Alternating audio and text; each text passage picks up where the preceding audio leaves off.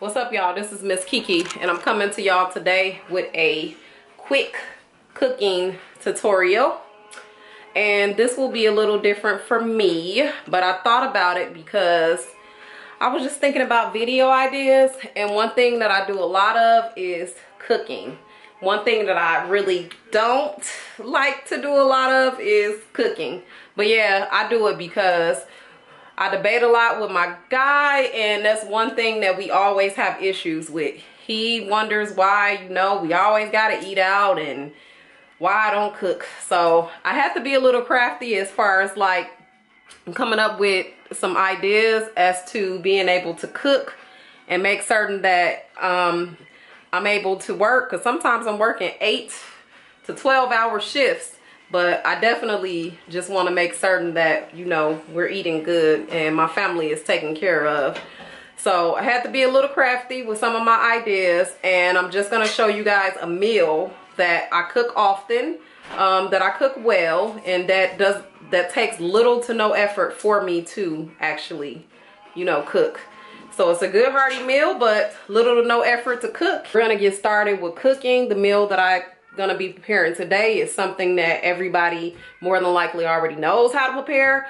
But for those of you who are kind of like beginners, you're just getting your first place, um, you're just stepping off the porch or what have you, um, I'll walk you through everything. So the corned beef that I um the corned beef that I'm cooking has been on and it's been cooking in a crock pot for I would say the last like eight to nine hours on low heat. So it should be extremely nice and tender and it's extremely easy to cook. This is something that you can put on in the evening before bedtime and just let it cook throughout the night.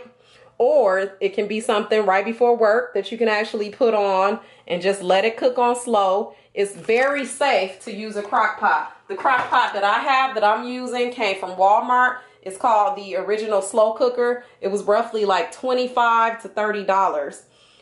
Using a slow cooker is really good because it comes in handy with making sure your meat is nice and tender, especially if you're using expensive cuts, cuts of meat. It's good also with bringing out the flavor in your meat. And it's good if you're going to be doing um, meals, soups, stews, casseroles, and um, just slow cooking meat like I'm doing today. So I didn't fill it up with water, but I just filled it up right above the corned beef. I used the packet that came inside of the corned beef. It comes with its own seasoning. So I just season it with the packet that came in with the corned beef. And voila, just let it cook. Slow heat for, on slow heat for like 10 hours. So that's that. That should be done and, and ready to eat. I just recently, for early Christmas gift, got some new pans and pots. And the set that I have is copper color. It's extremely sturdy and durable. I got it for right under, I would say like a hundred dollars. It come all of the um the skillets and the pots came with tops. They're extremely heavy, made with really good material, and I love them. The seasonings that I'll be using, and I love to cook with minced garlic. I use minced garlic in a lot of my meals by McCormick. I also have black pepper. I love cooking with accent. Definitely got to use my accent. And just regular salt. So those are the four ingredients that I'll be using that everyone more than likely already has. Um, if not, they're at every local grocery store. I also normally cook with a lot of like herbs, but I won't be using any herbs in my cabbage. I also have one large onion, one large cabbage that I'm going to chop up on my cutting board and clean really well and drain. And I have croissant rolls. Who's not going to want to finish it off with a little bread? Especially if you have a um, fat family like mine. They're definitely going to want to eat bread.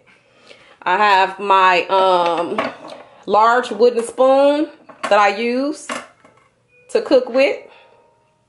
And that's about it. I'm pretty certain that most of you ladies already have these items.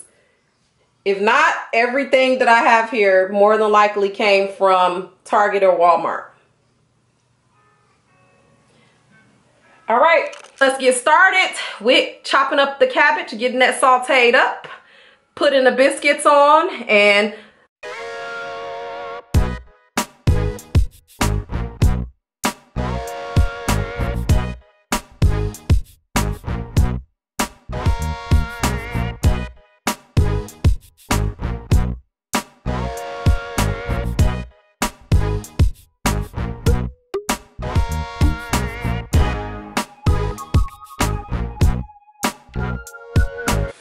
I don't want my cabbage to be too greasy. And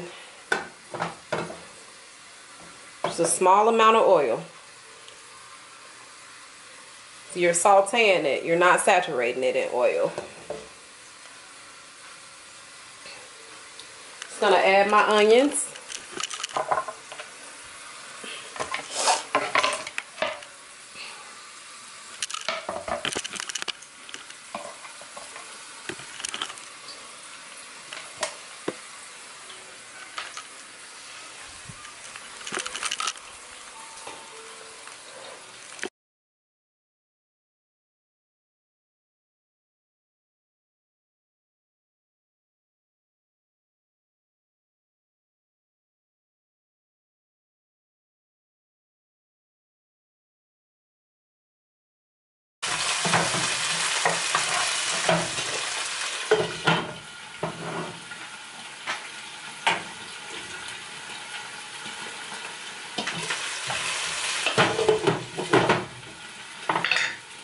All right.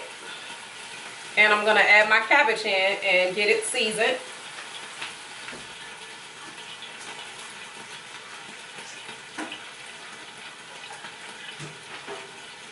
Definitely to make my dishwater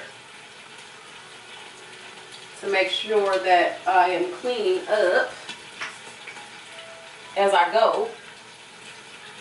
Once again, at the end, I don't want anything to clean. I want to relax, chillax, not trying to come back in the kitchen and clean anything up at all. Oh, Knowing this shit is a problem, yeah. Swear to God, I should be gone, leave you alone, but I'd rather be with you and all your bullshit. Yummy cabbage. So delicious and good for you. You want to make sure you season the cabbage to your liking. Just taste it. Once it's ready to be tasted, of course. Um, and if you don't like it, if it's not seasoned well enough, you can always add additional seasons. Always season your food to your liking. Like a lot of salt? Throw a lot of salt in it. Cover it up. And just let it continue to cook on low heat until it's soft to your, your liking and seasoned um, how you like it. And that's it. Cabbage is pretty simple. Have my rolls in the oven, cabbage on the stove, corned beef done. I'm almost ready to eat.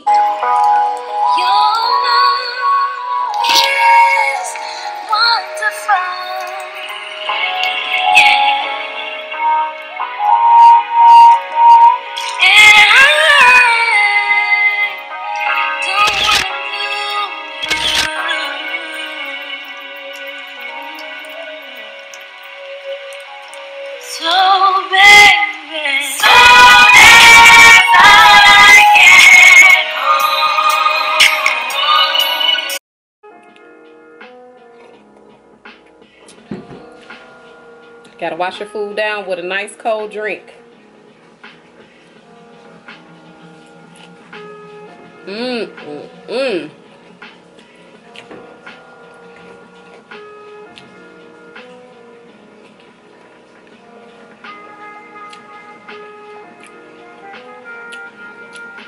Corned beef is so tender.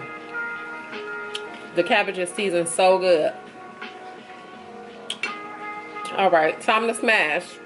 I'll catch you guys on the next video. Thank you for tuning in.